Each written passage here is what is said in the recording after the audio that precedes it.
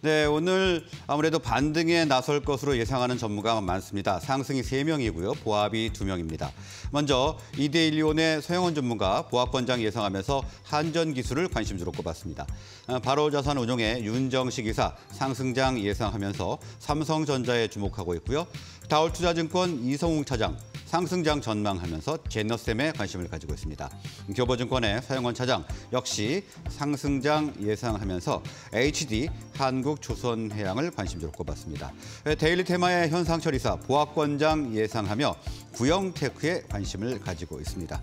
자 그러면 두 분과 화상으로 이야기 나눠보도록 하겠습니다. 이데일리온의 서영원 전문가 바로 자산 운영의 윤정식 이사 연결돼 있습니다. 자, 두 분 나와 계십니까? 네, 안녕하세요. 네, 안녕하세요. 네, 안녕하십니까. 자, 먼저 서영원 전문가님, 어느덧 2,500선까지 이제 위태롭게 됐습니다. 어떤 전략 준비하면 좋을까요? 네, 맞습니다. 최근 우리나라 시장의 흐름들을 살펴보면 물론 뭐 미국 시장도 좀 차익 실험 매물이 나왔다라고 하지만 아, 투심 자체가 상당히 좀 위축되는 모습들을 좀 보이면서 어려운 장세가 계속해서 좀 이어지고 있는 상황입니다. 어, 미국 같은 경우에도 좀 조정을 계속 받다가 이제 CPI 발표를 앞둔 상태에서 반발 매수세가 유입됐다라고 좀 볼 수가 있겠고요. 어, 조금이라고 체크를 해본다라면 뭐 기술주, 테크주 같은 경우에는 조정을 받은 반면에 반도체 섹터가 좀 강세를 보였다라는 점은 한국 증시에는 좀 긍정적으로 작용을 할 수 있을 것으로 예상이 됩니다.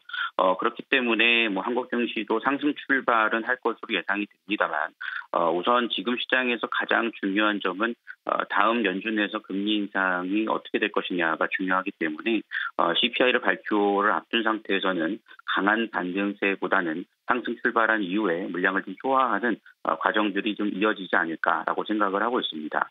어, 물론 어제 여, 어, 뉴욕 연은에서 발표한 기대 인플레이션 자체가 어, 3.8%로 상당히 좀 낮아진 모습들을 보였기 때문에 어, 여전히 좀 물가에 대한 안정을 좀 찾아가는 모습들을 보여주고 있지만 어, 연준 위원들의 발언들을 살펴보면 여전히 금리 인상에 대한 부분들을 계속해서 어필하고 있는 점을 감안해 봤을 때 이 점이 강하게 좀 시장에 적용을 하기보다는 조금 혼조세로 좀 이어질 가능성이 높다라는 점을 살펴보셔야 될 것 같고요. 어, 그렇고 지금 특히나 우리나라 같은 경우 거래대금도 낮은 상태에서 선물 시장에서의 수급이 좀 주를 이루는 모습이기 때문에 어, 오늘 삼성전자를 중심으로 반등을 한다 하더라도 종목들은 조금 다소 조금 어려운 네, 흐름들이 이어질 가능성이 높다라는 점을 참고해 보시면서 투자 전략을 세워 보시면 좋을 것 같습니다. 네, 일단 CPI 발표를 앞두고 강한 상승이 나오기는 좀 어려울 것으로 보시면서 물량 소화 과정이 나올 것으로 분석을 해주셨습니다. 다음은 윤정식 기사님, 자 닷새째 하락인데요. 외국인과 기관의 매도가 계속 나오고 있습니다. 어떤 전략 준비하면 좋을까요? 네, 우선 미국 증시 같은 경우는 이 고용 지표가 좋게 나왔습니다. 그러면서 전체적으로 경제에 대한 자신감, 경기에 대한 이 자신감이 좀 나오면서 사실 나스닥이 장중에 하락이 컸었거든요. 1.63%까지 하락을 했었습니다. 금융주 그리고 뭐 빅테크를 중심으로 한 기술주들이 하락을 하면서 많이 하락을 했었는데 계속적으로 매물은 나왔는데 이제는 경기에 대한 자신감이 나오면서 이 하락폭을 어, 굉장히 좀 빠른 속도로 축소를 시켰거든요. 결론적으로 나스닥이 0.82%좀 하락을 하긴 했지만 전체적으로는 이 매파적인 부담감, 이런 부담감이 좀 줄어드는 이런 모습들이 나타나고 있습니다. 미국 증시에서 빅테크 기업들은 부진했지만 필라델피아 반도체 지수는 좋은 모습을 보여줬고요. 그리고 필수 소비 소비자에 대한 주가는 상승을 했습니다. 이 좀 긍정적인 면을 오늘은 좀 말씀을 드리고 싶은데요. 계속적으로 최근 들어서 하락을 했습니다. 지난주 주초까지는 좀 지지부진한 증시의 모습이 있었고 지난주 수요일부터는 좋지 않은 좀 하락하는 그런 모습들이 많이 나왔습니다. 이번 주 오늘 같은 경우는 이제 외국인과 기관의 매도가 확실히 뭐 매수로 돌아서서 추세적으로 올라간다 이 정도까지는 아니더라도 매도세는 좀 진정이 될 것으로 보여지고요. 미국 시장에서 장, 주, 장 후반에 좀 반등을 하면서 좀 올라가는 이런 모습들이 오늘 국내 시장에서도 좀 나타날 가능성은 있는데 다만 이 추세적으로 바뀌었다. 그리고 강하게 상승한다. 이 정도까지는 좀 아니다라는 점을 염두를 해두시면서 시장은 그래도 분위기를 조금은 좀 반전시켰다. 반전시킬 가능성이 높다라고 보시면 되겠습니다. 네, 미 증시가 하락해서 어, 반전된 영향을 아무래도 우리 증시에도 영향을 끼칠 것이다 이렇게 분석을 해주셨고요. 자, 다음은 관심 정보 알아보도록 하겠습니다. 먼저 서영원 전문가님. 네, 제가 관심 있게 보고 있는 종목은 한전 기술이라는 종목이고요. 뭐 원자력, 수, 화력 발전, 설계, 설비를 하는 업체다라고 볼 수 있겠습니다.